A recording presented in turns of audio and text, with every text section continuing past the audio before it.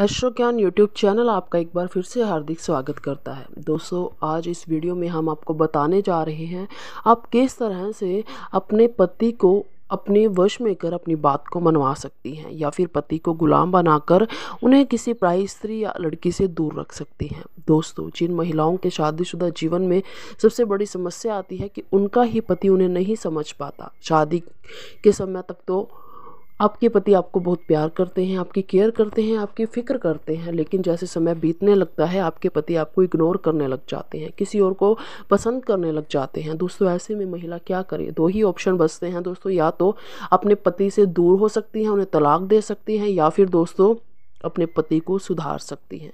हम आपको ये नहीं कहेंगे कि आप अपने घर को बिल्कुल ही बर्बाद कर लीजिए। हम आपको एक ऐसा सोल्यूशन देंगे जिससे आप अपने घर को आबाद कर सकती हैं, यानी अपने पति को वश में कर अपनी बात को भी मनवा सकती हैं और प्राय स्त्री या लड़की से भी हमेशा के लिए दूर रख सकती हैं।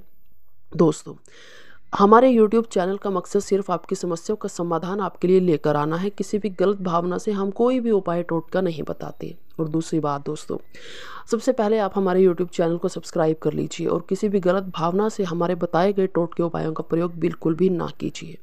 आपको इस उपाय को करने के लिए दोस्तों सिर्फ़ पाँच काली मिर्च की आवश्यकता होगी।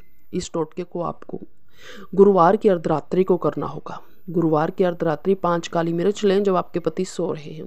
उन पाँच काली मिर्च को अपनी एक हाथ की मुट्ठी में बंधकर अपने पति के ऊपर से सात बार उतारते हुए मम वश्यम कुरु कुरु स्वाहा, मम वश्यम कुरु कुरु स्वाहा, मंत्र से अभिमंत्रित कर लीजिए। इसे सात बार पति के ऊपर से उतारना होगा, जब तक आप सात बार नहीं उतार लेते, जब तक आपको इस मंत्र का जाप करना होगा।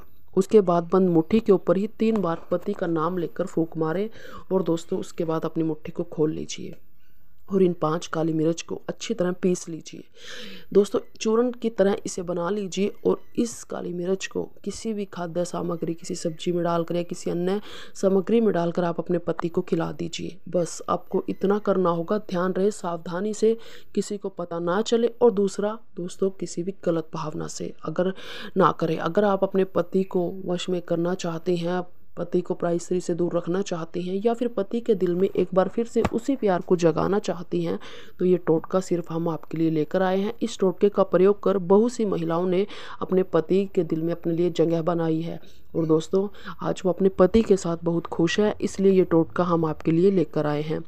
किसी तरह की अन्य जानकारी के लिए वीडियो स्क्रीन पर दिखाए नंबर पर कॉल करके संपर्क कीजिए। वीडियो पसंद आए दोस्तों, कमेंट में हमें जय माता दी अवश्य लिखकर भेजिए। वीडियो को ज़्यादा से ज़्यादा शेयर कीजिए लाइक कीजिए यूट्यूब चैनल को सब्सक्राइब कीजिए। हमारे साथ अंत तक बने रहने के लिए आपका बहुत बहुत धन्यवाद।